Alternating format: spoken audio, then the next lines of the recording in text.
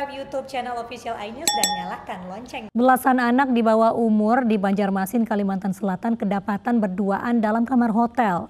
Dalam razia ini petugas menjaring 33 orang yang separuhnya masih remaja.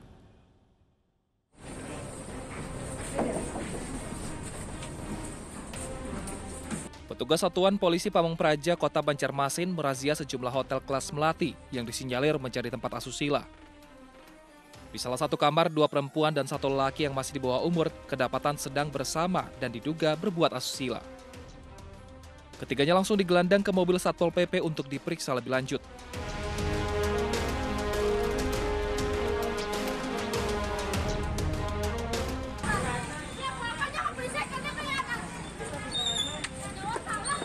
Sementara di lokasi lain, petugas terlibat ketegangan dengan wanita yang diduga merupakan pekerja seks komersial.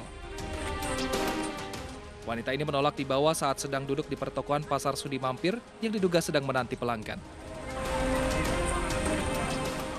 Dalam operasi cipta kondisi jelang bulan suci Ramadan ini, petugas menjaring 33 orang, di mana hampir setengahnya adalah anak di bawah umur.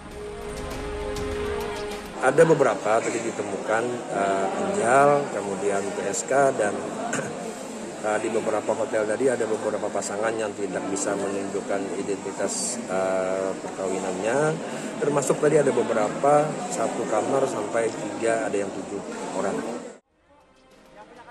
Selain mendata ke 33 orang ini, petugas juga mendalami dugaan adanya prostitusi yang mempekerjakan anak di bawah umur.